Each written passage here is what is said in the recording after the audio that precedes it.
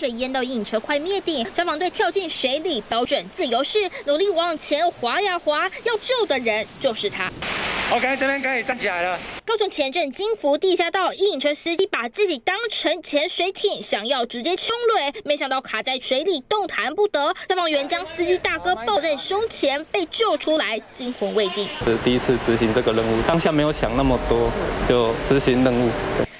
水淹三公尺高，再不救就来不及了。梅雨狂降南部，伴随着轰隆隆雷声，民众一早上班看到淹成这样，只能苦瓜脸。你听，你听你听哦，啊，你是用听过安尼？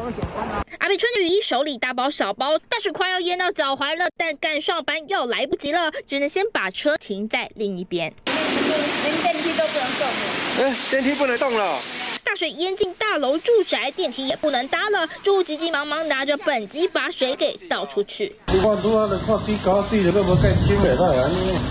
又浊的泥巴水淹进杂货店，里面外面通通淹大水。老板赶紧先把纸箱往高处堆，但风雨实在太大了，就连民宅阴架也被吹垮。不过积水现象要什么时候才能解除，恐怕还需要一些时间。记者吴国队、徐福田、邓明、马佳瑜高雄报道。